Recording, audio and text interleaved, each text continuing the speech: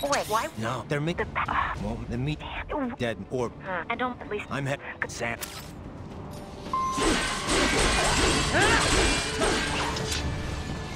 Raiden, there is no time to worry about the soldiers. Get to the control tower.